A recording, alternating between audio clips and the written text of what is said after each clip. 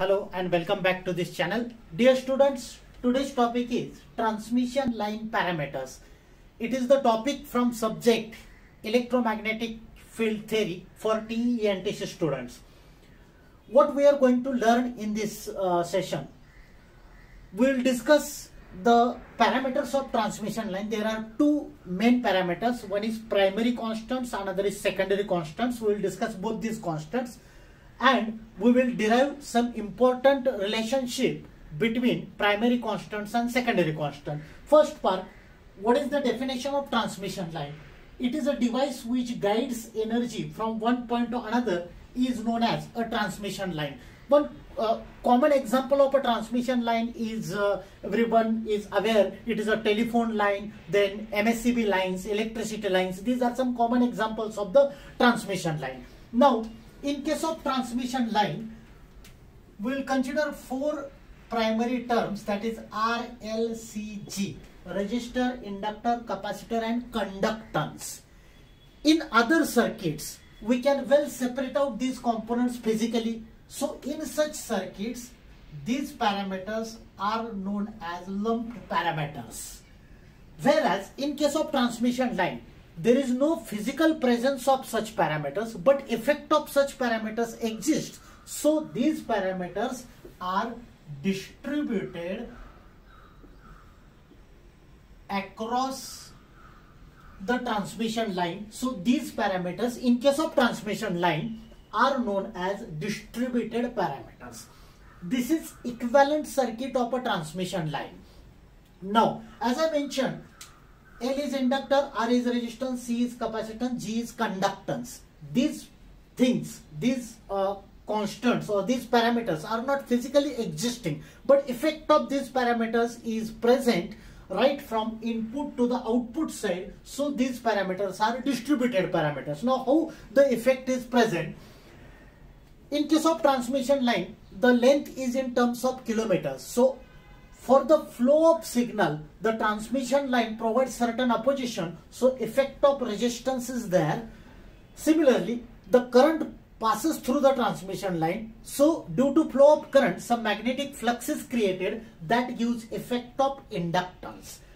Keep in mind R and L, resistor and inductor are in series, are in horizontal line.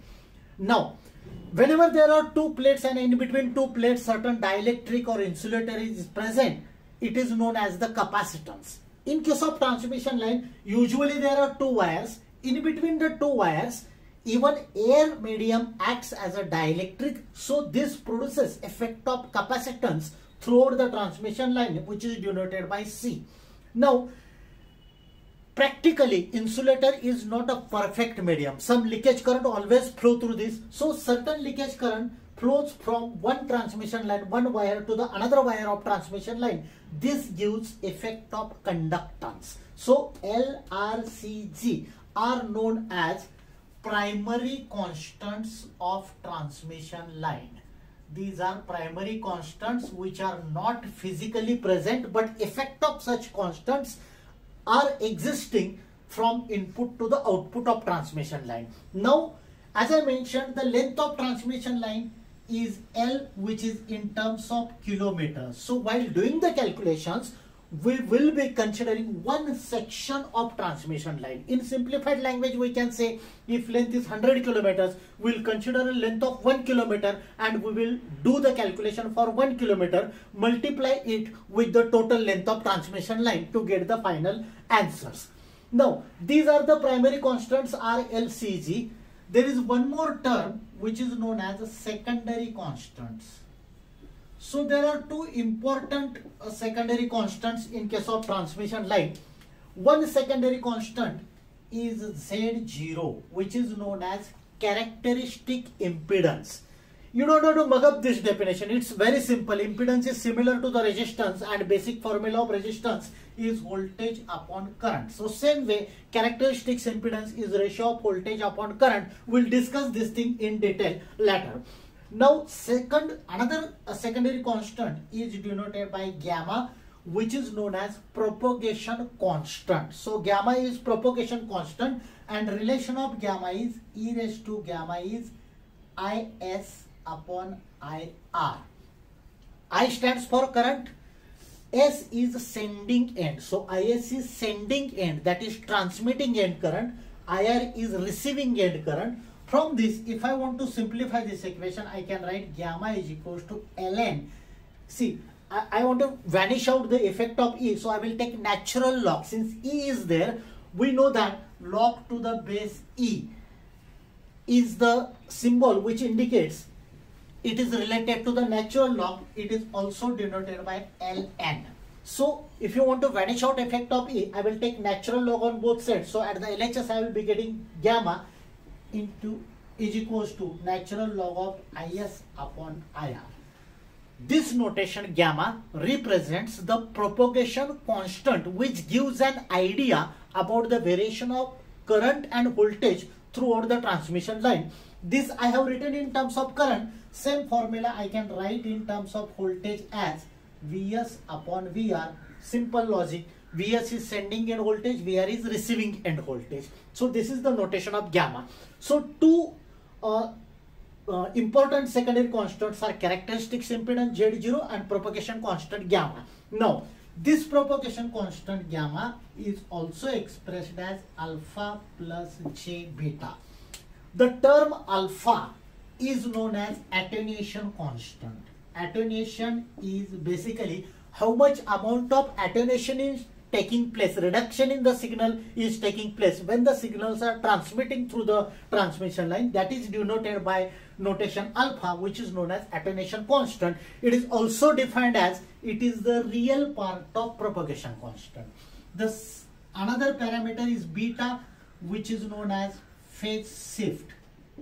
It indicates whether there is any phase shift in the signal which is passing through the transmission line. It is also defined as the imaginary part of propagation constants. So these are the definitions of primary and secondary constants in case of a transmission line. Now we will derive two important derivations that is derivation of Z0 in terms of primary constant and derivation of gamma propagation constant in terms of primary constant.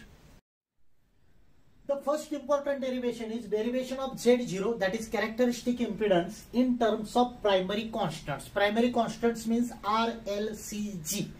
Z0 is the characteristic impedance. Now, this network, this circuit is known as a T network because its shape is like an English letter T. So it is known as the T network. It is very simple network from electrical networks. These values in the horizontal line, whatever we are writing, this is Z1 by 2, Z1 by 2, vertical impedance, Z is impedance, vertical impedance is Z2. Using same analogy, we have learned the equivalent circuit of transmission line, how to memorize the things.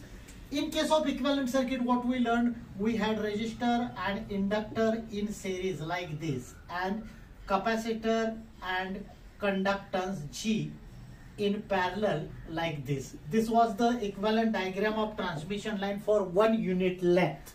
Now, Z1 means series arm impedance. In series, I have R and L, resistor and inductor. So, R remains as it is. Impedance of inductance is j omega l this is z1 by 2 so i will write it like this z1 is equals to r plus j omega l very simple z1 is the impedance of horizontal line in horizontal line i have r and l impedance of l is j omega l so total impedance becomes r plus j omega l so Z1 by 2 is there in the equivalent diagram. So for transmission line, I have written R plus J omega L using this notation since it is Z1 by 2 divided by 2 into L. What is what this small l indicates? Small l indicates the length of transmission line. Whereas capital L indicates the inductance.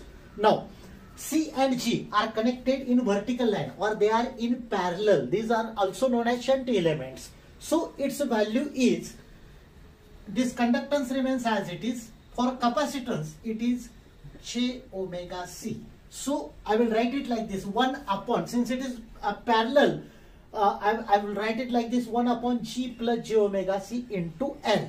So it is G plus j omega c. Omega c, j omega c is the reactance of capacitance. Rather, it is 1 by j omega c. So, it is 1 by g plus j omega c into L. L is the length of transmission line. This is the way how you can remember uh, these uh, notations as far as equivalent uh, T network of transmission line is concerned. Now, first we will derive the expression for Z0 in case of simple T network and we will apply same technology for the transmission line. Now, in case of this network, values are very simple Z1 by 2, Z1 by 2, they are in horizontal line, Z2 is in vertical line. At the output, we are supposed to connect some impedance known as Z0.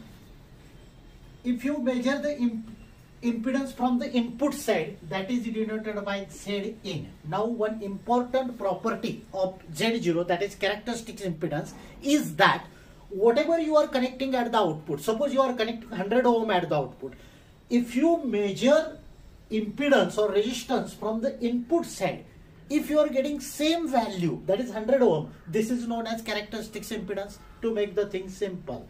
If you are connecting Z0 out at the output in case of transmission line or in case of ideal T network, then if you measure the impedance from input side, you should get same answer. That is Z in must be same as Z0. Now, if I want to do the calculation, suppose I want to measure what is the value of Z in that is equals to Z0 if I am measuring from input side then simple logic as we apply for any electrical circuit if you are looking from this end towards the network start doing calculations from the remaining end. Means if you are measuring from this end i will be doing calculation from this end. So these two are in same wire. This is same wire. So they are in series. If first thing first combination is in series next will be in parallel next will be in series and so on. So i will write it like this. Since as i said these two i need to consider first. This is in series so it becomes z1 by 2 plus z0 this gives me series combination of these two then it is in parallel with z2 i will write the symbol of parallel like this into z2 and this combination is again in series with z1 by 2 this is the equation with which i have written for input impedance. Very simple. These two in series then if first combination is in series next is in parallel third is in series and so on. Now let us simplify this equation now onwards, instead of considering one extra notation Zn, I will consider only Z0. So, this equation can be written as Z0 is equals to, first I will simplify the square bracket term. So, we know that if these two things are in parallel in the num numerator, take multiplication of terms like this into Z2. Take multiplication of these two. In the denominator, take addition of same things this is z1 by 2 plus z0 plus z2 plus this last term I am keeping it as it is. Let us simplify the things further. I will take LCM over here so it becomes z1 plus 2z0 upon 2 into z2 divided by z1 plus 2z0 upon 2 plus Z2 plus Z1 by 2. Let us simplify it further. I will multiply uh, this bracket term by Z2 in the numerator. So it becomes Z1 into Z2. First term is getting multiplied with Z2 plus 2Z0 into Z2. Second term is also getting multiplied and divided by 2 remains as it is. This is the numerator term. In case of denominator, I will take this 2 as a LCM. So, this becomes Z1 plus 2Z0 plus 2Z2. This 2 is getting multiplied with Z2 divided by 2 plus last term Z1 by 2. This term I have kept it as it is. Now, in this case, this 2 and 2 gets cancelled.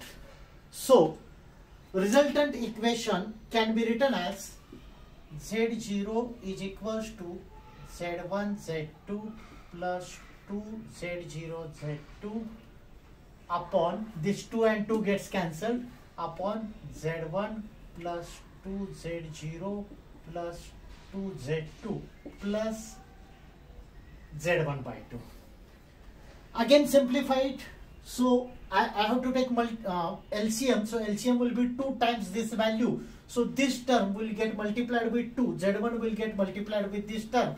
So it can be written as 2 Z1 Z2. I am multiplying this entire term with 2 plus 4 Z0 Z2 plus now multiply this term each of the denominator term by z1 so it becomes z1 square plus 2 z0 z1 plus 2 z1 into z2 this entire term of denominator is getting multiplied with z1 divided by 2 into this term will be the LCM so it is 2z1 plus 4z0 plus 4z2 and the LHS I have Z0. Now transfer this term at the LHS. So Z0 will be getting multiplied with each term. So it becomes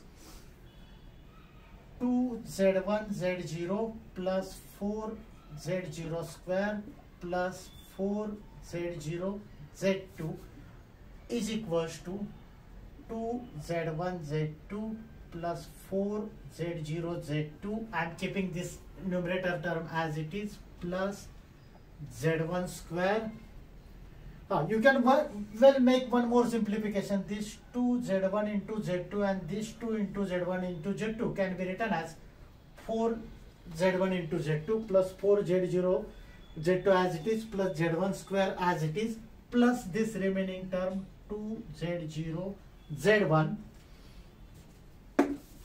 so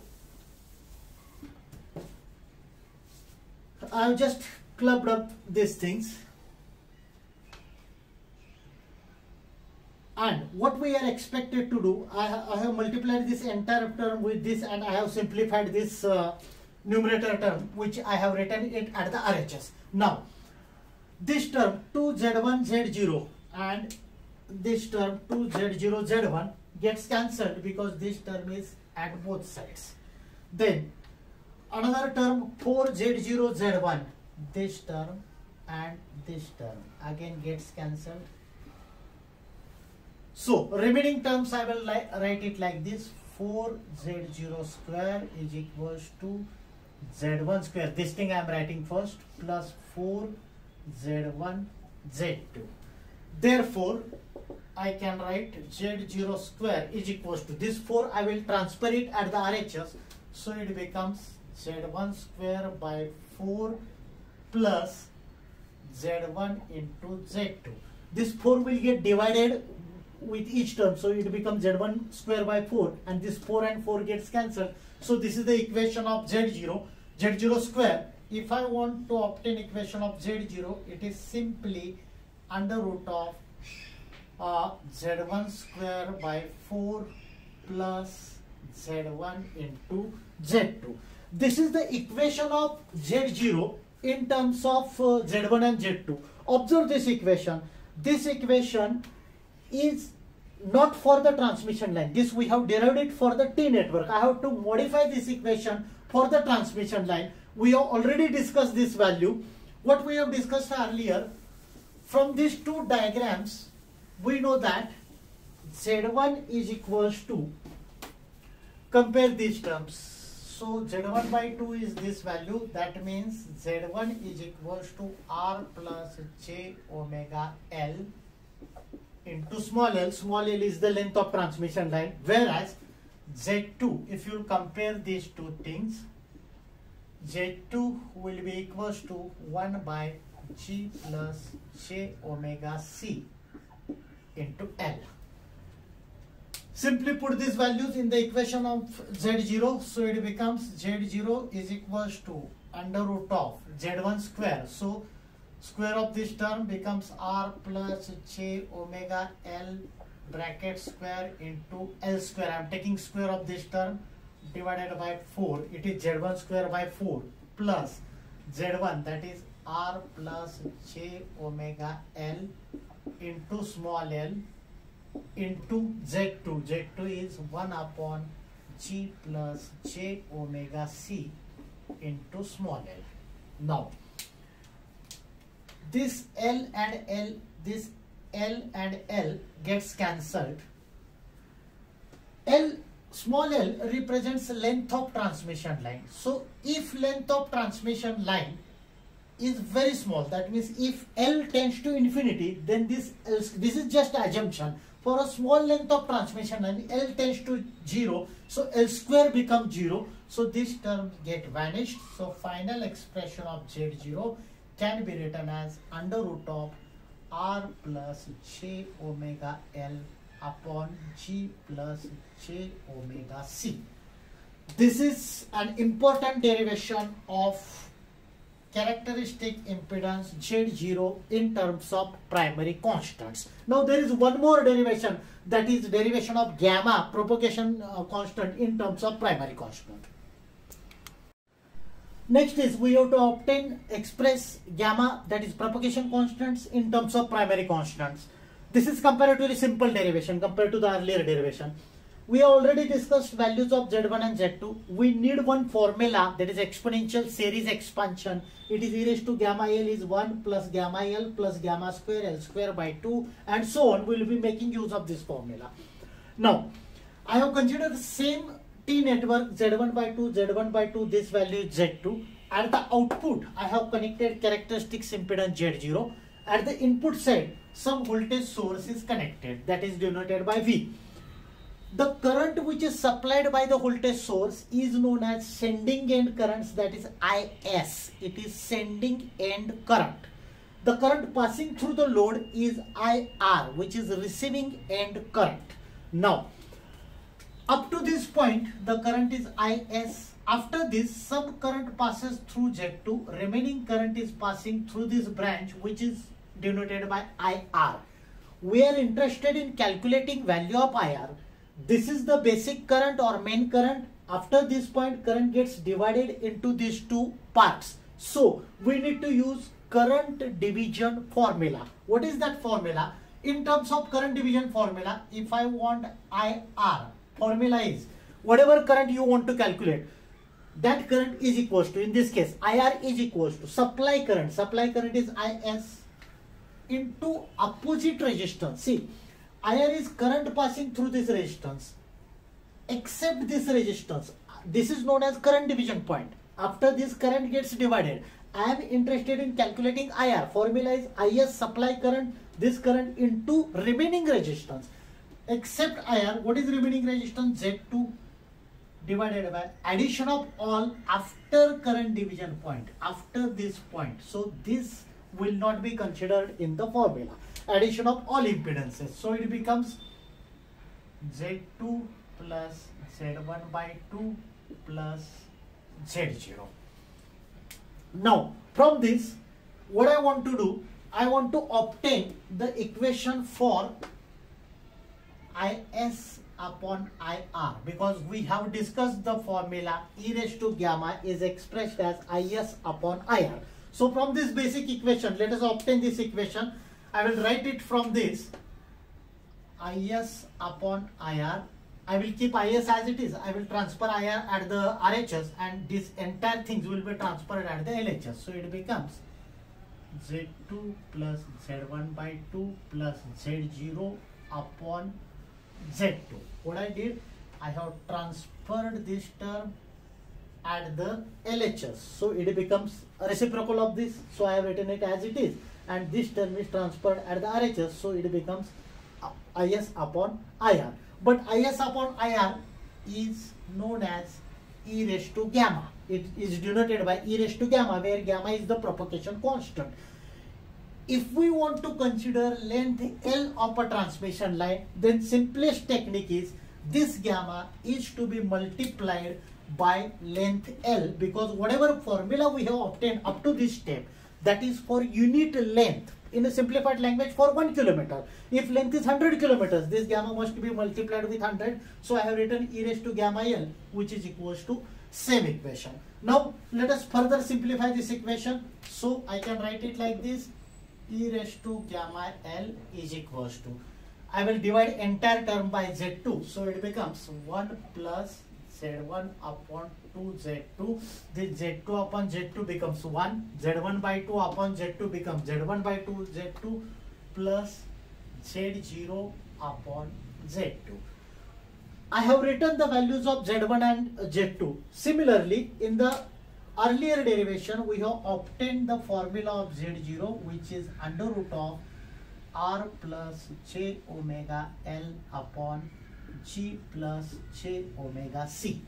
So put the values of Z1, Z2 and Z0 in this equation. So we will get it like this e raised to gamma L is equals to 1 plus value of Z1 is this R plus J omega L into small l divided by 2 into Z2 value of Z2 is 1 upon G plus J omega C into L. This is the value of Z2 plus Z0. I have to put this value of Z0 as it is. It is under root of R plus J omega L upon G plus J omega C.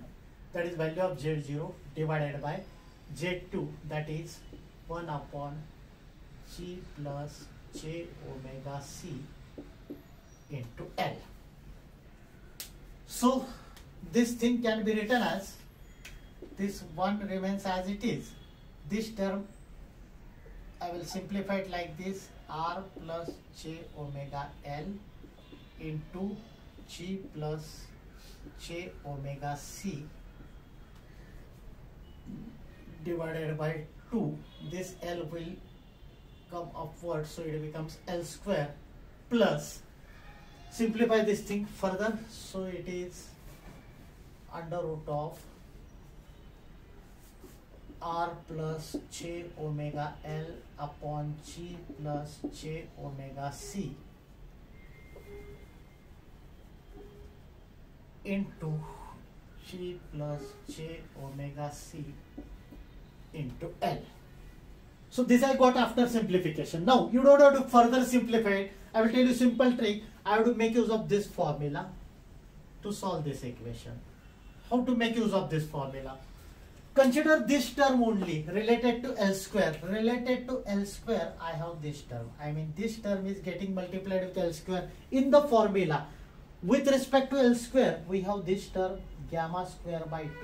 So if you compare the corresponding terms, I can simply write it as gamma square by 2 is equals to r plus j omega L into G plus J omega C divided by 2. So remaining part is pretty simple. This 2 2 gets cancelled. So gamma square is equals to this term. That means gamma is equals to under root of R plus J omega L into G plus J omega C. This is the final equation of propagation constant gamma and as I said earlier this gamma can be expressed as alpha plus j beta. So this is the end of derivation for propagation constant. That's it for today's session. Thanks for attending this session. Thank you very much.